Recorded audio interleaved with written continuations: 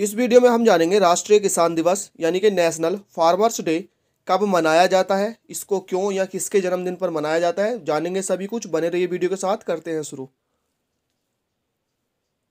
राष्ट्रीय किसान दिवस, भारत के पाँचवें प्रधानमंत्री चौधरी चरण सिंह, यानी भारत के जो पाँचवें प्रधानमंत्री थे चौधरी चरण सिंह, इनके सम्मान में मनाया जाता है।